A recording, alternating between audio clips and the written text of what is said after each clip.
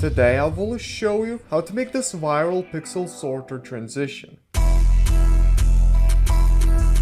Yo, it's Povikas here. And real quick guys, if you're new to the channel, my name is Povikas and I've been a video editor for over 7 years now. And I also run an absolutely insane video editing website called povikas.com where I have the best video editing presets for video editors just like yourself. So if you want absolutely crazy video editing effects that you can literally just take and drag and drop into your After Effects timeline in one click, then I would 100% recommend to go and check them out and they will be linked in the description. But anyways, uh, let's begin. Alright guys, so here I have just some random clips from one and only's music video called Stardust. It will be linked in the description if you want to use it. You can use anything you want. And what we can do is press Ctrl Y to make a new adjustment layer on which we will have the transition on. So let's just transition from this car to one and only right here. So we're going to be using four frames of the adjustment layer. So I can press Ctrl Shift D and delete this adjustment layer. And I'll go one, two, three, four frames forward, press Ctrl Shift D and delete. And here we have four frames like this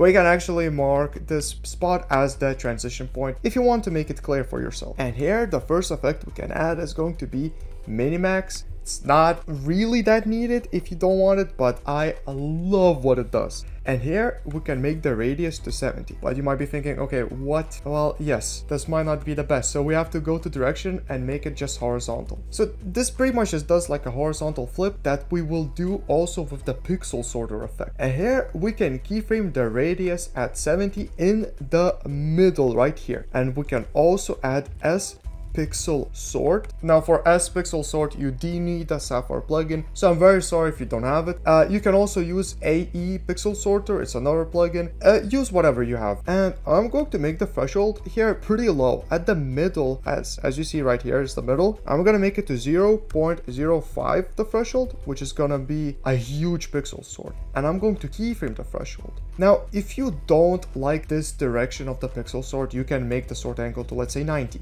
But let's just not do it right here. Let's just do it at zero. And here, let's make the randomly restart resort to 110. I'll keyframe it here and uh, let's just make the soften threshold mask. This is a little cheat I like to do to zero. And you could actually just have it like this, but it's gonna look kind of bad. I'm not gonna lie. You don't to just keep it like that. You want to like keyframe it. You want to do way more crazy things here. So we can also add a deep glow or deep glow 2 if you don't have this plugin. Don't worry, you can skip like a couple of seconds forward. And I'm to make the exposure here to 0.5 and I'll keyframe the exposure. I just want to add a little bit of a glow.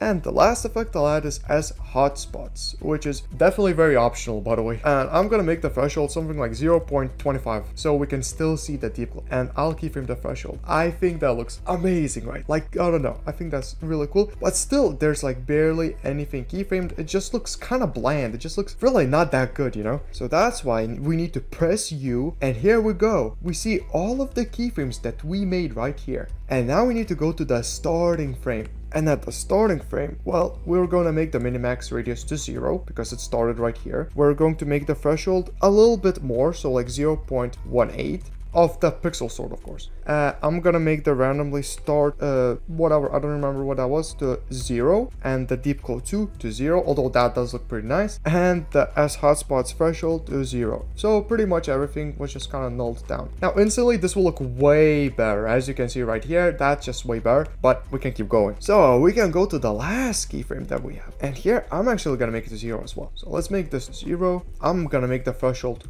to one randomly start whatever that is sort to zero and now i'm gonna go one frame before and here, I'm gonna make the threshold a bit lower because this is a bit high to 0.09. And also at this frame, I like to mess around a little bit. I like to make the pixel sort actually to minus. So I'm gonna make it to minus 0, what, 0 point, let's say 285. I don't know, just type something very random like as minus. That looks really, really nice. I, I don't know, at least in my opinion. And I'm gonna make the randomly, whatever that is, you know, to 0 and that looks really really cool. And now let's go back to the second frame right here. We didn't do anything here at the moment so we should make the threshold to something like 0.02 and S hotspots threshold i'll make it higher to 0.41 and here we will pretty much have an incredible effect. Just amazing I mean, I don't know what you guys think about it. It just looks very, very cool. It's just one of the variations. Other variation could be you could have just not changed the S pixel sort here. You could have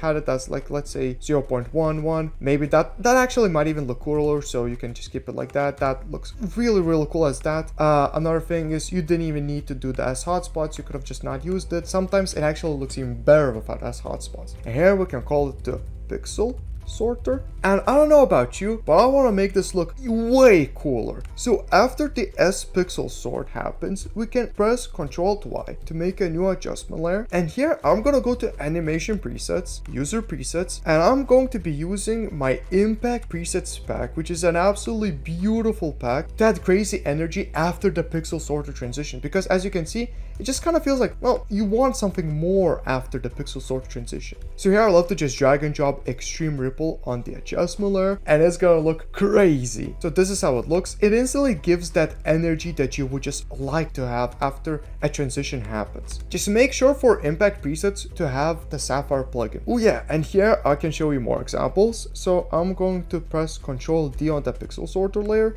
to duplicate it and I'm gonna drag it on top of right here. Yeah, this is a really really cool spot to also add a pixel sort transition. As you can see, that looks amazing. But here we also might want something as an impact, so we can press Ctrl to Y. And I love that frame glitch chaos, an absolutely chaotic effect. Just a really nice, like almost like a shake chaos. I, don't know how to like even call it. As you can see, that looks really, really cool. And now we can also press Ctrl D on the pixel sorter layer, bring it right here. And I can show you different variations here. So here, I'm actually going to turn off Minimax. Sometimes you don't want Minimax. And what you can actually do with S pixel sorter is you can press U, of course, to see our keyframes. And let's drag this a bit further to the start. And here we can make the threshold of S pixel sort to like 0.4 and we will just have it go in slowly slowly slowly and then transition like that. But here you can also press ctrl y and you can add a, a crazy preset that i made which is warp transition. And after you added it it will look like this which i don't know i think is absolutely incredible. And we've pretty much just made a crazy sequence in a couple of minutes. And uh, i mean the hardest part was adding the pixel sorter and the other effects. All you have to do is just drag and drop. You'll have